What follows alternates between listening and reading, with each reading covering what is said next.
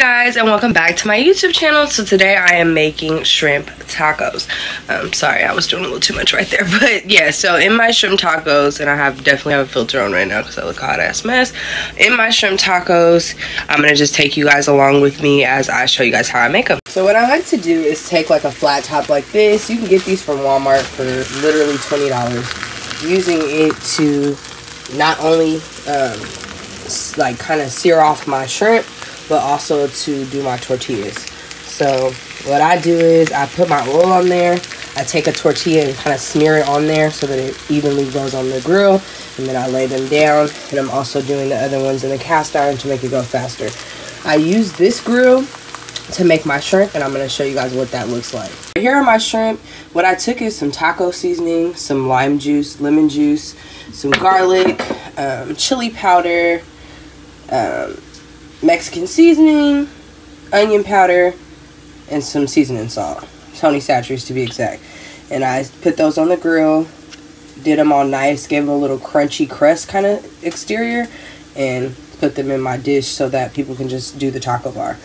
I accidentally grabbed crushed pineapple, so the crushed pineapple is what I'll be using for the shrimp tacos as well. And then I like to, to get a head of cabbage, and with that head of cabbage, I'm just going to take this and thinly slice it, very thin, like paper thin, like literally.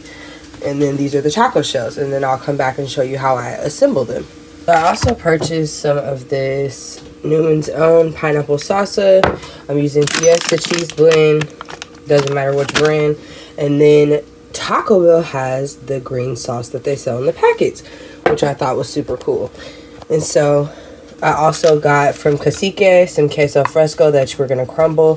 The key to making this perfect is to crumble the cheese while the shells are still hot because the cheese will adhere to it very well and it just makes the taco taste better. So now my shells are right here. Taking my sheet with the fork and just going to scrape the top of it with the fork like this. And I'm doing it with one hand guys so bear with me.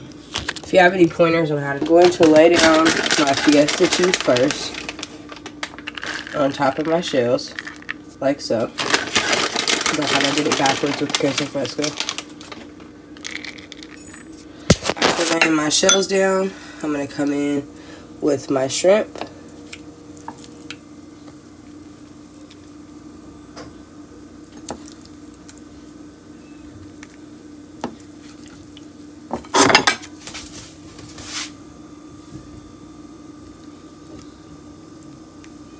Just still nice and hot. Boom. After you got a nice little portion like this, we're going to come in with some of our cabbage slaw on top. Not too much, guys. Just enough for a crunch.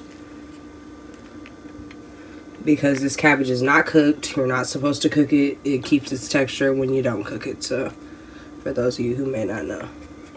Then I'm going to come in with my pineapple right on top of that cabbage. Make it look pretty. And my hands are clean.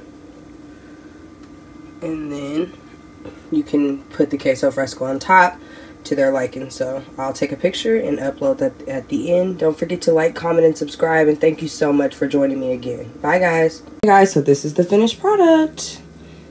Looks amazing.